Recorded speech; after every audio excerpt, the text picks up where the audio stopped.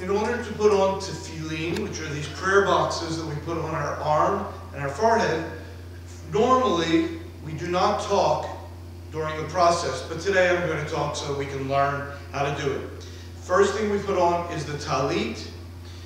We hold it in front of us, say the blessing, Baruch atah Adonai, Eloheinu melech olam, asher kiddushanu b'mitzvotav, v'tzivanu lehitatef batzitzit. I kiss the two sides of this little decorative part, the atara, then I wrap it around myself.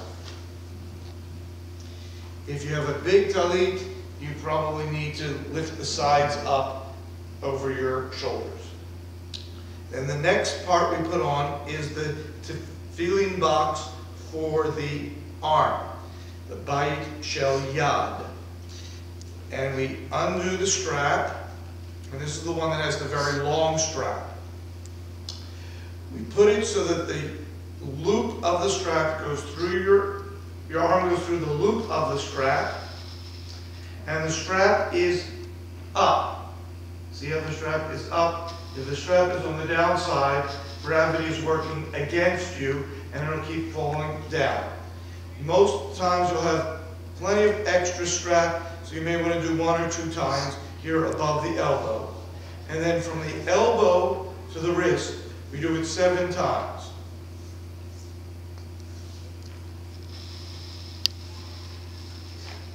You try to keep it as tight as you can without turning your fingers purple. And they seem to be about an inch apart.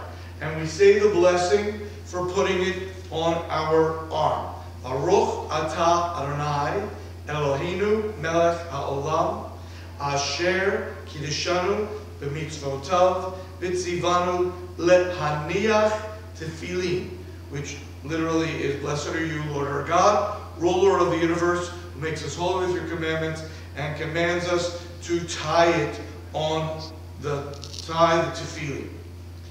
Then we put the Bayit Shel Rosh, the head box, on, and we put it so it's right in front of your forehead, in the middle, with the strap, try to keep the strap with the black part showing, and the side straps coming down across your chest. Um, if the head does not fit properly, then bring it to the cantor or the rabbi, and we may need to retie it. You're not going to be able to untie the knot yourself easily to, to redo it for your head. And we say the second blessing. Baruch atah Adonai, Eloheinu melech haolam, asher kiddushanu b'mitzvotav, v'tzivanu al mitzvat tefillin. Blessed are you, Lord our God, ruler of the universe, who has made us holy with your commandments, commands us on the mitzvah of tefillin. Now comes the hardest for most people. And that's what to do with the fingers. So first we have one strap across the middle part of your, the back of your palm. Then we're going to take the strap and do it three times on the middle finger, and we say the first of three sentences. Ve'erastich li le'olam. And I will betroth you, I will marry you for me forever. Then we take it and do it over these two middle fingers. And you say the second sentence. Ve'erastich li v'tzedek u'v'mishpat u'v'chesed u'rachamim. Then you go from the fourth finger to make like a V on the back of your palm. And the letter Shin. Ve'erastich li ve'emunah v'yada'at et Adonai.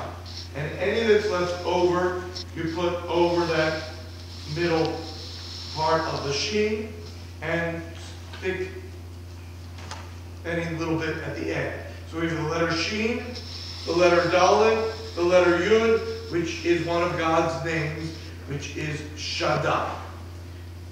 To remove the tefillin, we do everything in the reverse order. We take off the hand part and just leave it loosely in your hand. Then we take off the one from the head, and then you take off the rest of the straps from the arms.